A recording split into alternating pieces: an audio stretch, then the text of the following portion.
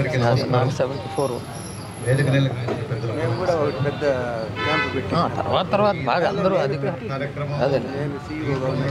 మేము అన్ని డా- తొంభై నాలుగు తొంభై సంస్థ ఏర్పడిన కొత్తలో అన్ని ప్రకారం దొరకనప్పుడు అర్ధరాత్రి ఫోన్ నేను హైదరాబాద్లోనే ట్విన్ సిటీస్ మ్యాజిస్ట్రేట్గా రిటైర్ అయ్యా. కన్వీనియన్స్ లేవు. మోటార్ సైకిల్స్ లేవు. సైకిల్స్ మోపెడ్స్ ఉండేవి. ఆ పరిస్థితుల్లో అమర్నాథ్ రెడ్డి ఫోన్ చేసి ఫోన్ కూడా సెల్ ఫోన్ లేవు అప్పుడు. బాగా గమనించండి సెల్ ఫోన్ లేవు. ల్యాండ్ లైన్స్ మాత్రమే ఉండేవి.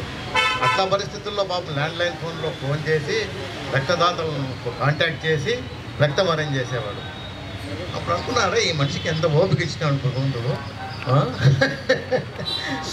ఈ టైంలో కూడా పాపం ఇబ్బంది లేకుండా ఫీల్ కాకుండా చేస్తాడు.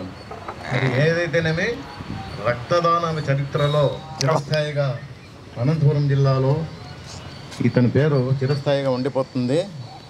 ఎందుకంటే ఇతను చేసినటువంటి కృషి అటువంటిది. ఇంకేం చెప్పలేము. అంతే కదా. Thank you very much for this opportunity